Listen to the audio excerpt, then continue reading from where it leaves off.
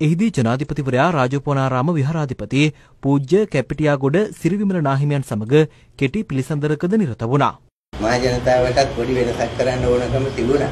ඒ වෙනස හරි හැටි කෙරෙනවද කියන එක තමයි ප්‍රශ්නේ. දැන් බලනකොට මේ ආණ්ඩුවේ නායකයෝ ගොඩයි. එක නායකයෙක් ඉන්න ඕන. මම තමයි මේවා ප්‍රකාශනිකුත් කරන්න ඕන. මට තමයි පුළුවන්. මං ආගෙන ඊයේ අමරතුංග මහත්තයා ටීවී එකේ කියන ප්‍රාදේශීය සභාව විසිරුවනවා ලොක්කොම. ඒකට මොකද්ද තියෙන බලේ? ඒක විසිරුවන්නේ. මේවා මහ බරපතල ප්‍රශ්න. මම නායකයා නම් මම නායකයා. මමත් නායකයා, මෙයත් නායකයා වෙන්න බෑනේ. මේ රටේ ප්‍රජාතන්ත්‍රවාදී රකින්න ඕන පිළිවෙලක් තියෙනවා. ඒ පිළිවෙලට තමයි අපි ඒක කරන්න ඕනේ. ඒ ඒකේ අඩු කරන්න ඕන දේවල් තියෙනවා.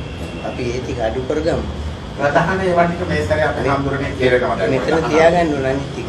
අනිත් ටික තියාගන්න ඕන. ඔය ටුටුට ඇවිල්ලා මෙන්න කෙනෙක් වාඩිලා මම තමයි ජනාධිපති කිව්වොත් වැඩි සුබ සහායස වගේ